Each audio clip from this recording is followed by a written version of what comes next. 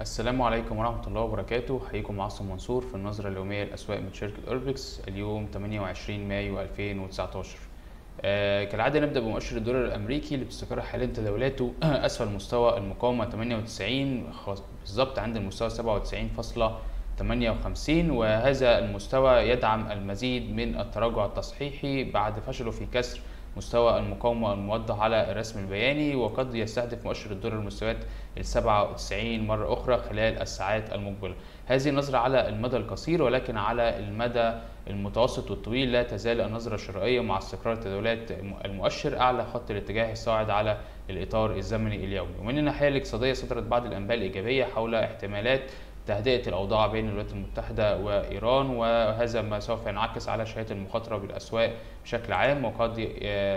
يتسبب في هدوء نسبي لبعض التداولات خاصة عملات الملاذ الآمن والذهب والنفط. ننتقل إلى اليورو دولار تستقر حاليا تداولاته عند المستوى 1.1195 أعلى مستوى الدعم 1.1115 بعد نجاح الزوج في الارتداد منه بشكل قوي. هذا يبقي على النظرة الحيادية على المدى الزمني المتوسط والقصير باستقرار تداولات الزوج بين المستوى 1.1115 والمستوى 1.1260 وفي حال الإغلاق اليومي أعلى المستوى 1.1260 من المتوقع أن يحشد الزوج المزيد من الزخم الإيجابي إلى المستوى 1.1320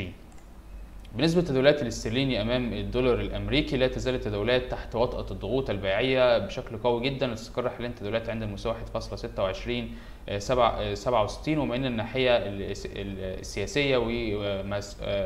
ومفاوضات خروج بريطانيا من الاتحاد الأوروبي. أعلن حزب آه، زعيم حزب العمال آه، كوربن بأنه يؤيد استفتاء عام على أي صفقة سيتم عقدها بشأن خروج بريطانيا من الاتحاد الأوروبي ومن ناحية أخرى فاز حزب نايجل فراج البريكست في انتخابات المجلس الأوروبي وهو ما سيضع آه، المزيد من الضغوط على الجنيه الاسترليني خلال الفترة المقبلة ولكن ننتظر إلى ما ستؤول إليه الأوضاع بعد استقالة تريزا ماي بشكل رسمي وتركها المنصب في يوم 7 يونيو المقبل. من الناحية الفنية استقرار تداولات الزوج بأسفل المستوى 1.28 يدعم المزيد من التراجع إلى المستويات آه، مستوى الدعم القادم عند المستوى 1.25 آه، 30 آه، عند هذا المستوى سنراقب الحركة السعرية للزوج وسوف نشاهد آه، ننتظر ما إذا كان الزوج سيستطيع الارتداد من هذا المستوى ستكون الفرصة جيدة آه، للشراء. آه، بالنسبة للتداولات النيوزيلندي دولار هناك فرصة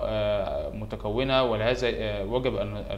ملاحظتها هو كسر الزوج قناة هابطة على على الإطار الزمني الأربع ساعات وهو ما يدعم المزيد من التعافي على المدى القصير إلى المستوى آه، 0.66 بشرط استقرار التداولات أعلى المستوى 0.6480 وفي حال كسر هذا المستوى المتوقع أن يحشد الزوج المزيد من الزخم الإيجابي وأن يسجل المزيد من الارتفاعات إلى المستوى 0.6680 وهو ما سيجعل الدولار النيوزيلندي يتعافى أمام أغلب العملات آه، الأخرى. آه، الذهب لا يزال تحت آه، تداولاته أسفل خط الاتجاه الهابط على الإطار الزمني وهو ما يبقي على النظرة البيعية طالما استقرت التداولات أس- أسفل المستوى 1310 وهذا ما أكدنا عليه في العديد من الفيديوهات السابقة. الذهب في حال آه، نجاحه في استقرار أسفل خط الاتجاه الهابط سيمتد التراجع إلى مستويات ال 1266 دولار الاوقيه مره أخرى وهو ما يشكل دعم قوي لتداولات الذهب خلال الفترة الماضية وخاصة بداية من يوم 22 إبريل الماضي. ولهذا في حال الإغلاق اليومي أسفل هذا المستوى من المتوقع أن يمتد التراجع إلى المستويات ال 1250 دولار للاوقية. بالنسبة آه، لتداولات آه، أسعار النفط تستقر حاليا تداولات أسفل مستوى الدعم 60 دولار للبرميل آه، بالظبط عند مستوى 59.15 دولار للبرميل وهو ما يبقي على النظرة البيعية على المدى القصير باستهداف المستويات المستويات ال 57 دولار ومنه إلى المستويات ال 55 ولهذا